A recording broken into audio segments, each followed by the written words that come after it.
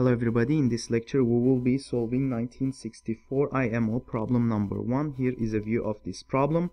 Uh, in part A we would like to find all positive integers n for which 7 divides uh, 2 to the n minus 1.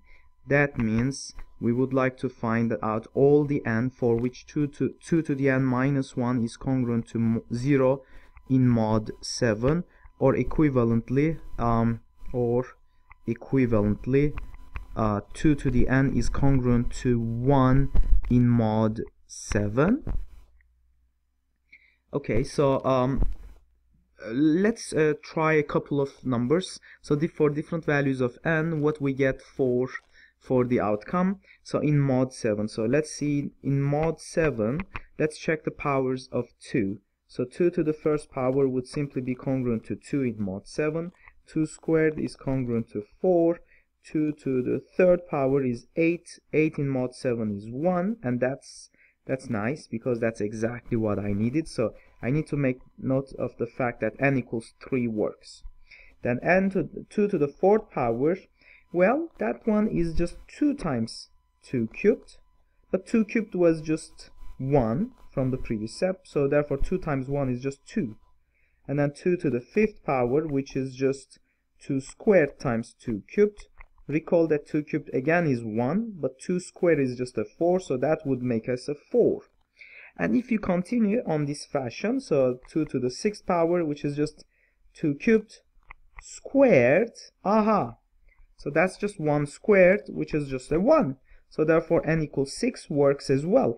In fact it is possible, uh, knowing that 2 cubed is congruent to 1, it's possible to observe that for n is equal to 3k, for the multiples of 3, our expression would look like this. So our expression would be 2 to the 3k, but that's simply equal to 2 cubed to the power k, but 2 cubed is congruent to 1. We established it, it. We established it and 1 to the power k is just congruent to 1 in mod 7 so therefore the answer would be n is equal to 3k would uh, would satisfy uh, this condition and no other solution will satisfy it. In fact when n is equal to 3k plus 1 that would simply be equal to 2 to the power 3k uh, plus 1 which is simply equal to 2 to the power 3k times 2 which is simply congruent to 2 in mod 7 and finally uh, if n is in the form 3k plus 2 then 2 to the power n is simply equal to 2 to the power 3k plus 2 but that's just um, 2 cubed to the k power times 2 to the squared which is just 4 in mod 7 as a result uh, when n is in this form or this form we do not have the desired result but this works. So if uh, so all positive integers n which are multiples of 3 would satisfy the condition in part A.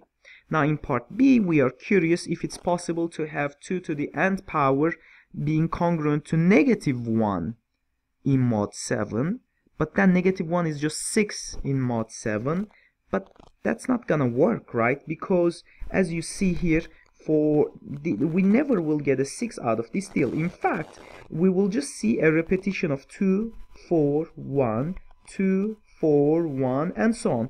So whenever we have multiples of 3 we will get a 1 like what? Like 3 like 6 like in n equals 9 and so on.